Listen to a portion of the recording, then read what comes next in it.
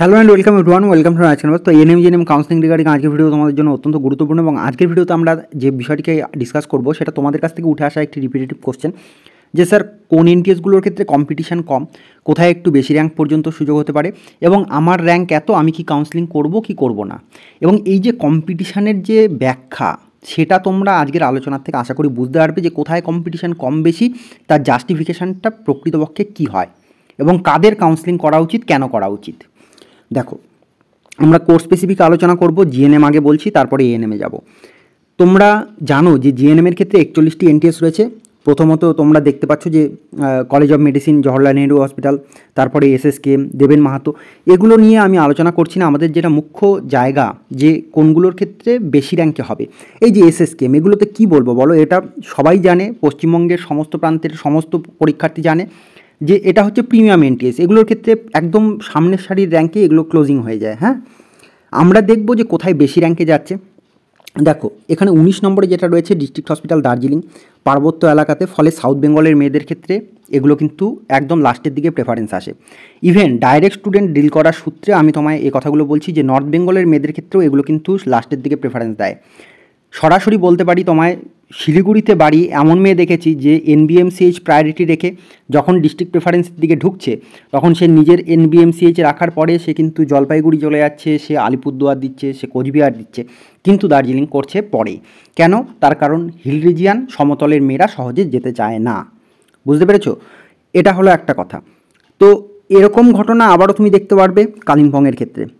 তো একই রকমভাবে যেহেতু অধিকাংশ স্টুডেন্টের প্রেফারেন্স এগুলো শেষের দিকে থাকে, এগুলোর ক্ষেত্রে র্যাঙ্কটা কিন্তু একটু বেশি পর্যন্ত টানে।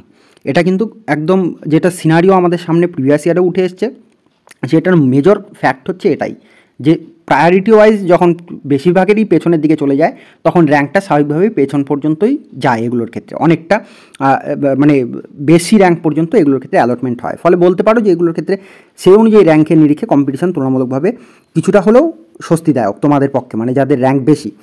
এখন দেখো, তার পরবর্তীতে চলে এসো, এই যে চল্লিশ নম্বরে যেটি রয়েছে সেন্ট্রাল হসপিটাল কাল্লা আসানসোল এটা সেন্ট্রাল গভর্নমেন্টের ছিয়াত্তর হাজার টাকা তিন বছরের ফিজ রয়েছে, যেখানে স্টেট গভর্নমেন্ট এনডিএসে চারশো বত্রিশ টাকা। তো ফলে এটার ক্ষেত্রে মানে প্রেফারেন্স সবারই কিন্তু অনেকটা পেছনের দিকে থাকে। ইভেন পশ্চিম বর্ধমানের মেয়েদেরকেও তুমি যদি প্রেফারেন্স লিস্ট দেখতে যাও, সেখানে তুমি দেখবে যে তার বাড়ির থেকে নিয়ারেস্ট হয়তো, কিন্তু তার প্রায়োরিটি লিস্টে একদম শেষে। এটার কজটা হচ্ছে এটাই। বুঝতে পেরেছ? যার দরুন অধিকাংশ স্টুডেন্ট যখন প্রায়োরিটি লিস্টে শেষে দেয়, তখন ব্যাপারটা হয়ে যায় ওরকমই যে বেশি র্যাঙ্ক পর্যন্ত টানে। এবার এই জিনিসগুলো যেটুক বললাম, এটা শুনে যদি তুমি থেমে যাও, তাহলে আর পরবর্তী কথাবার্তার কোনো কিছু মানেই খুঁজে পাবে না। ফলে সবটা শুনতে হবে তোমার এই যে ইএসআই প্রপার কলকাতাতেই দুটো, একটা শিয়ালদা, একটা মানিকতলা। এই দুটো এনটিএসে কুড়ি হাজার টাকা করে ফিস ফলে এটার ক্ষেত্রেও কিন্তু প্রায়োরিটি বেসিস পেছনের দিকে যায়, যার জন্য ওরকমভাবে আমরা দেখি যে একটু বেশি র্যাঙ্ক পর্যন্ত যায়। বার্নপুর সেল এটার ক্ষেত্রেও কিন্তু তোমার বেশি র্যাঙ্ক পর্যন্ত যায় পিএসইউ এর ছিয়াত্তর হাজার প্লাস এটাই ফিস এখন এই যে বেশি র্যাঙ্ক পর্যন্ত যাচ্ছে মানে এমন নয় যে অ্যাব্রাপ্ট কিছু একটা র্যাঙ্ক আছে তোমার, আর তুমি এক্সপেক্ট করছ যে হ্যাঁ আমার হয়ে যাবে। তেমনটা কিন্তু বুঝতে হলে আরও কিছু ব্যাখ্যা তোমাদের জানতে হবে। এবং কম্পিটিশানের ব্যাপারটা তোমরা যেটা বারবার বলছো, সেটাকে আমি বলছি, একে একে বলছি। তাহলে জিএনএমের মধ্যে এই চারটেতে বলতে পারো একটু বেশি র্যাঙ্ক পর্যন্ত হয়, হুম? এবার এএনএমে দেখো এএনএমে যে তেরোটি এনটিএস রয়েছে, Kakdwip SD hospital Barasat government medical college Diamond Harbour government medical college Domkal super speciality hospital IDBG তারপরে হচ্ছে Jangipur S SD hospital Kaliaganj SG তারপরে হচ্ছে Murshidabad government medical college Raghunathpur SD hospital, Vidyasagar state general hospital AC Mukherjee memorial, NTS Asansol promotee training school. এই তেরোটি এনটিএসের মধ্যে তুমি যদি দেখতে যাও, উত্তরবঙ্গে কেবলমাত্র হচ্ছে এই কালিয়াগঞ্জ এসজি হসপিটাল, উত্তর দিনাজপুরে। ফলে সমগ্র উত্তরবঙ্গের মেয়েদের যখন প্রেফারেন্স এএনএমে তারা সাজাবে, প্রত্যেকের ক্ষেত্রে কিন্তু বেশিরভাগে দেখা যায় যে এই কালিয়াগঞ্জটা তাদের নিয়ারেস্ট যেহেতু, উত্তরবঙ্গের যে প্রান্ত থেকেই তুমি দেখতে যাও না কেন, মালদার ওপার থেকে দুই দিনাজপুর এবং তার পরবর্তীতে তোমার দার্জিলিং ডিস্ট্রিক্ট সমগ্র জল মানে আর কি ওই শিলিগুড়ি সমতল ঘুরে, জলপাইগুড়ি, কোচবিহার, হুম, তারপরে হচ্ছে তোমার আলিপুরদুয়ার ইভেন দার্জিলিং, কালিম্পংয়ের মেয়েদের ক্ষেত্রেও কিন্তু নিয়ারেস্ট দেখতে হলে এই কালিয়াগঞ্জটা। বুঝতে পেরেছ? তো ফলে এই ধরুন এটা কিন্তু উত্তরবঙ্গের ক্ষেত্রে ফার্স্ট প্রায়োরিটি হবে। আর বাকি মানে বেশিরভাগ মেয়েরা করে থাকে। আর বাকি যে এনটিএসগুলো রয়েছে, বারোটি এনটিএস এই তেরোটির মধ্যে একটি উত্তরবঙ্গে, বাকি বারোটি এনটিএস হচ্ছে দক্ষিণবঙ্গে।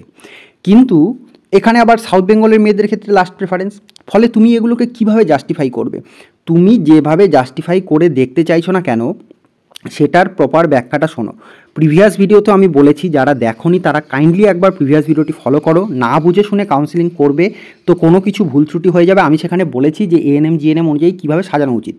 যদি কোথাও ভুল হয়ে যায়, তোমার যা আগামীর যে ফলশ্রুতি ঘটবে, সেটা দায়ভার একান্তভাবে তোমারই বর্তাবে। হুম? যদি না বুঝে কাউন্সিলিং করো। সাজানোর সময় অল গভর্নমেন্ট এনটিএসকে সাজাতে হয়, এটা আমি বারবার বলেছি। অল গভর্নমেন্ট এনটিএসকে সাজানোর ক্ষেত্রে তুমি কীভাবে কোর্স প্রায়োরিটি এনটিএস প্রায়োরিটি কীভাবে প্রেফারেন্স এডুকেশনালি কীভাবে প্রেফারেন্স ডিস্ট্রিক্ট মানে হোম ডিস্ট্রিক্ট প্রেফারেন্স অনুযায়ী করবে, সবটা বিশ্লেষণ আছে। ডিসক্রিপশান বক্সে দেওয়া লিঙ্ক ফলো করো ফার্স্ট কমেন্টে দেওয়া লিঙ্ক ফলো করো, তোমার বেনিফিট হবেই হবেই হবেই। কারণ ওই ব্যতীত অন্য কোনো পদ্ধতিতে কিন্তু মানে চান্স পাওয়া সম্ভব নয় গভর্নমেন্টে অল গভর্নমেন্ট এনটিএসকে সিলেক্ট করতে হয়। তাহলে আমরা কি বুঝলাম? তাহলে আমরা এটাই বুঝতে পারলাম যে পশ্চিমবঙ্গের সমস্ত প্রান্তের সমস্ত মেয়েদের কি করা উচিত? যে একচল্লিশটি জিএনএমের এনটিএস আছে, সেটাকে তুমি তোমার প্রায়োরিটি অনুযায়ী কোন এনটিএস ফার্স্টে রাখবে, কোনটাকে লাস্টে রাখবে, তুমি নির্ধারণ করবে। এবং তেরোটি যে এএনএমের এনটিএস আছে, সেই তেরোটি এনটিএসকে তাকে কিন্তু চুজ করতে হবে। যদি তার অল গভর্নমেন্ট সিলেকশান থাকে, তবেই তার গভর্নমেন্ট অ্যালটমেন্টের প্রবাবিলিটি আছে। নতুবা কিন্তু যদি বাছাই করতে যাওয়া হয়। না, আমি এই দশটা সাজাবো, এই কুড়িটা সাজাবো, বাকিগুলোর মধ্যে আমার বাড়ির থেকে দূরে ওটা ভালো নয়, এটা ভালো। এগুলো বিশ্লেষণ যদি করতে যাও, তাহলে কিন্তু ওই গভর্নমেন্ট অ্যালটমেন্ট তোমার হওয়ার সম্ভাবনা কিন্তু অনেকাংশেই আটকে যায়। র্যাঙ্ক বেশি থাক র্যাঙ্ক কম থাক, সেটা বড় কথা নয়, সাজানোর সময় বাদ বিচার করা চলে না। এবং আরও একটা জিনিস বলে দিচ্ছি, এই যে কম্পিটিশান কম বেশি, এই জিনিসটি বোঝো। ধরো তোমার র্যাঙ্ক খুব ভালো একটি র্যাঙ্ক সামনের দিকের প্রথম সারির র্যাঙ্ক যেমন আমি ধরো ধরে নিচ্ছি যে একজন ইউআর ক্যান্ডিডেট আনরিজার্ভ ক্যান্ডিডেট দুজন ইউআর ক্যান্ডিডেট আছে। ধরো এই বিষয়টিকে বোঝো। দুজন আনরিজার্ভ ক্যান্ডিডেট আছে, একজনের র্যাঙ্ক হচ্ছে তিন হাজার। সাপোজ আমি এক্সাম্পল দিচ্ছি, আর আরেকজনের র্যাঙ্ক হচ্ছে ত্রিশ হাজার। ঠিক আছে? তার মানে এই তিন হাজারের কত গুণ? দশ গুণ বেশি টেন টাইমস বেশি হচ্ছে ত্রিশ হাজার।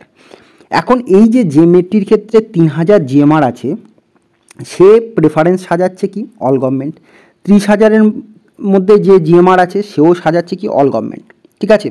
এবার, এই যে তুমি অল গভর্নমেন্ট সাজিয়ে দিলে, সেখানে তোমার যে অ্যালটমেন্ট হবে, সেটা কিন্তু পুরোপুরি জিএমআর বেসড কাউন্সিলিং প্রসেস এখানে কিন্তু পুরো ঘটনাটি যেটা ঘটে, সেটা জিএমআর বেসড ঠিক আছে?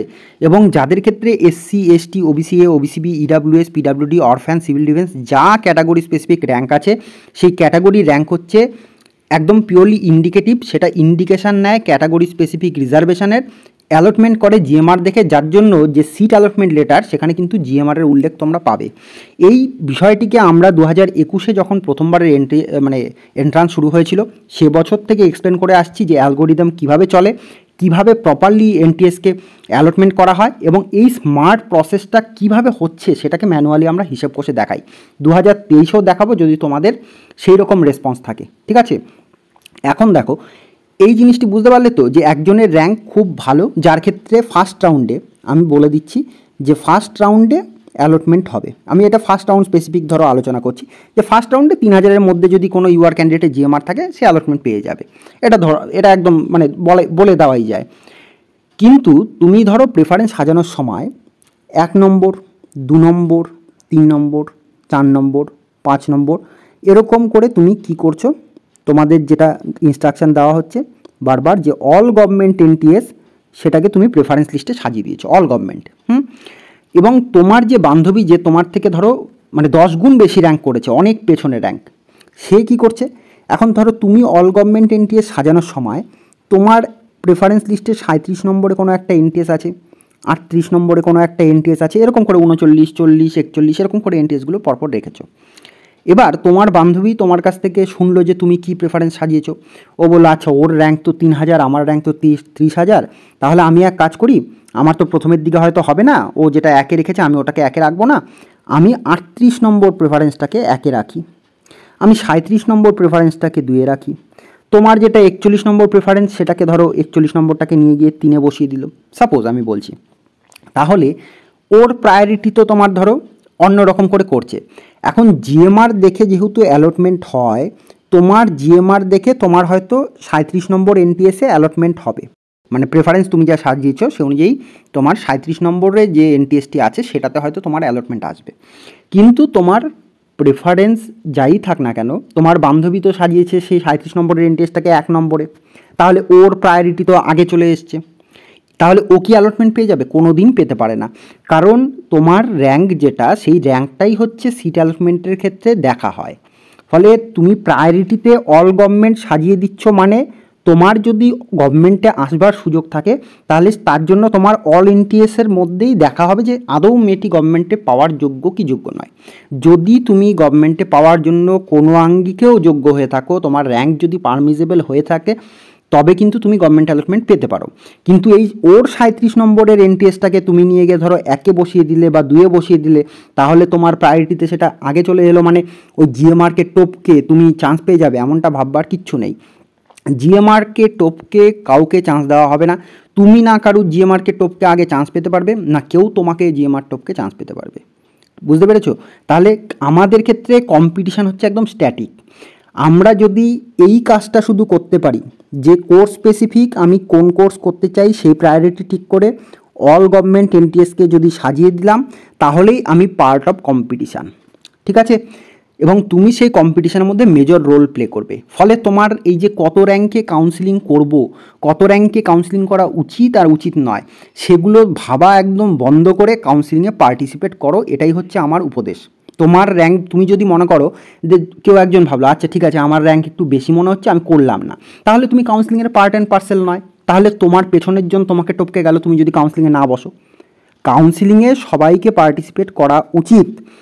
আমি এ কথাটাই তোমাদের মনোবল বাড়ানোর জন্য বলো, আর যা করতে বলো, আমি তোমায় বলছি যে এই শেষ পর্যন্ত কাউন্সিলিংয়ে টিকে থাকাটাই হচ্ছে কম্পিটিশানের মধ্যে মেজর একটা রোল প্লে করা। ফলে কাউন্সিলিংয়ে এটা আমার রিকোয়েস্ট প্রত্যেককে র্যাঙ্ক ভেবে লাভ নেই। পরীক্ষার আগে যেমন পরিশ্রম করেছ, তারই ফলশ্রুতি তোমার র্যাঙ্ক কার্ডে প্রতিফলিত হয়েছে। কাজে এখন কাউন্সিলিংটা করো, যা হবে শেষ পর্যন্ত দেখবে, তুমি হয় কিছু শিখবে, হারানোর আর কোনো কিছু নেই। কাজে ভালো র্যাঙ্কে র্যাঙ্কের বেসিসেই অ্যালটমেন্ট হবে। ভালো র্যাঙ্কগুলো প্রথমের দিকে যাদের আছে, তাদের ফার্স্ট রাউন্ডে হবে, তারপরে সেকেন্ড রাউন্ড আছে, তারপরে মপ আপ আছে, যদি আরও সিট থাকে, তাহলে স্পট রাউন্ড পর্যন্ত যাবে। সব জায়গায় তোমাকে পার্টিসিপেট করতে হবে। বুঝেছ?